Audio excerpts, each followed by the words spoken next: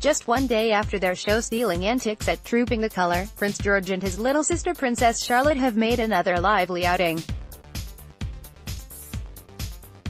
Under the supervision of their mother Duchess Catherine, the brother-sister duo attended the Maserati Royal Charity Polo Trophy at the Beaufort Polo Club in Gloucestershire on Sunday to cheer on their dad Prince William who was playing in the charity match. Watching on from the sidelines, the trio were reunited with Prince William's cousin Autumn Phillips and her two daughters, Savannah, 7, and Isla Phillips, 6. After seeing Savannah and George's playful dynamic on the balcony at Trooping the Color where she hilariously cupped the five-year-old's mouth, it's easy to see the pair share a strong bond.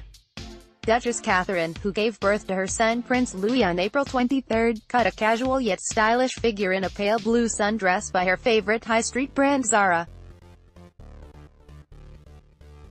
The striped frock retails for a very affordable £39.99 pence, $70 Australian dollars and 53 cents, and the mother of three finished off her off-duty look with a pair of Russell and Bromley wedges. Watching a relaxed and joyful Kate chase after her little ones reminded many fans of when Princess Diana participated in the annual Mother's Race at Wetherby Pre-Preparatory School in 1989 as part of Prince William's Sports Day slide across to see Princess Diana in 1989 and Kate in 2018 Princess Charlotte 3, stole the show with her adorable antics, proudly performing for her mum and loved one. To Kate's delight, her darling daughter showed off her impressive handstand skills and at one point, tried on a pair of sunglasses and danced about, a true rock star royal in the making.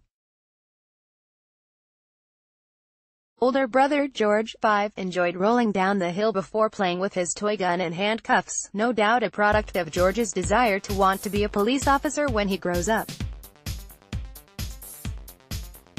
On Saturday, Prince George, Princess Charlotte and their cousin Savannah Phillips stole the show during their appearance on the balcony of Buckingham Palace for the annual Trooping the Colour Parade. In a now viral moment, during the national anthem Savannah cheekily cupped her hand over George's mouth in an effort to get him to be quiet.